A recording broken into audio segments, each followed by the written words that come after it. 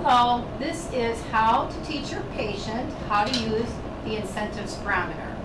So the first step to teaching this is to make sure that you understand how to use this and what it is used for.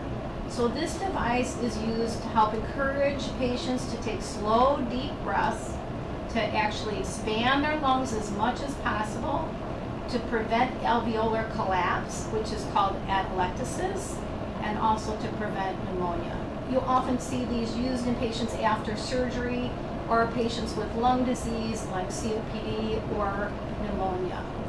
So my first step when I'm teaching my patient is to come in the room, verify that I have the correct patient. This is DeAndre Williams, date of birth 12-12-19XX. He verifies that that is correct. I start off by assessing his ability to learn.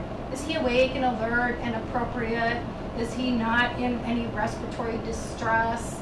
He's calm. Breathing is okay right now, so he's ready to learn. Then I'm going to explain to him why he's going to use this device. So when I explain it to my patient, I'm not going to use words like alveoli and atelectasis. I'm going to say, this is to exercise your lungs and to prevent pneumonia. So when I'm explaining to the patient how to use this, I tell the patient, take a normal breath out, breathe out, then put your lips around the mouthpiece and make a tight seal. Make sure the tongue is not in the way. And then breathe in slowly and deeply, as deep as you can. And then hold your breath for two to three seconds. And then breathe out normally. As the patient breathes in, this piston right here will move up and it will show us the volume of how much air that he breathed in. At the same time, the success monitor over here will move up and where we want it to be is right in the middle. I'm going to turn this around, right in the middle where it says better. If the patient breathes in a really fast breath, this little indicator right here will come to the hot top, hit the top, and just go back down. Because we want a slow, deep breath, not a fast, deep breath.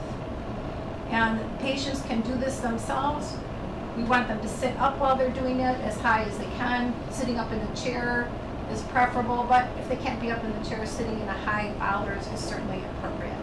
So um, this is actually my incentive spirometer, and so I'm going to show you how it is used so that you can see this.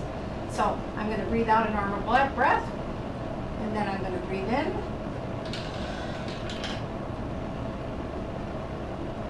I'm going to hold my breath for two to three seconds, and then I'm going to breathe out. I'm going to show again and look over here. You saw the piston went up to about 1500, and I want you to look over here and see if this is right in the middle where it should be. So I breathe out.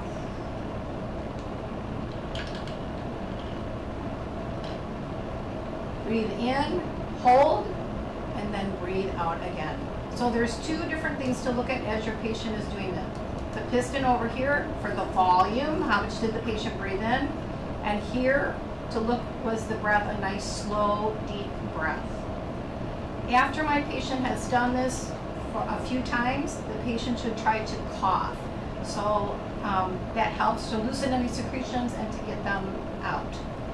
Usually patients are instructed to use this 10 times an hour Many patients, when they're in the hospital, if they're awake, it's a little boring to be in the hospital. Sometimes we say we'll do it two or three times with every commercial break from the program that you're watching. Um, a lot of times patients can't do this 10 times all at one time, but they can do it two or three times every 15 minutes. That will equal their 10 times every hour. And that's all for using the incentive spirometer and teaching it to your patient.